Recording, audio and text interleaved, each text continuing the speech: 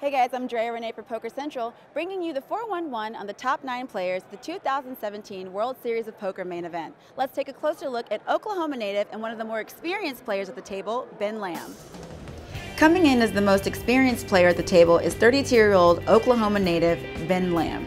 Lamb has some of the most impressive credentials with more than 7 million in live tournament earnings, the 2011 World Series of Poker Player of the Year, and now making his second appearance at the main event final table. Lamb, like many pros, dropped out of college to pursue the game full time.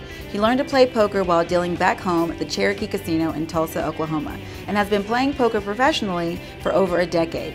When he's not golfing and hanging with his fiancee Rachel, you can find him on the water wake surfing or on a jet ski on Lake Mead. Coming into the final table, Lamb is the short stack and says there is some pressure, but he's already guaranteed a million and will be on the lookout for an early double up to continue his final table journey. He says he's done well mostly because of luck and being fortunate enough to get the right hand at the right times. Key moment for Ben was when his ace king sent Riard packing against ace queen. Please, it's a four. Rayard gone from this main event. Lamb says he really wants to win this tournament. He has a wedding in September, so I'm sure the 8 million will come in handy. Good luck to you, Ben. Hopefully you'll be adding 8 million to your honeymoon fund. We wish you well here at Poker Central. Make sure to follow all the action at pokercentral.com and all the live action at PokerGo. I'm Drea Renee, and that's the 411.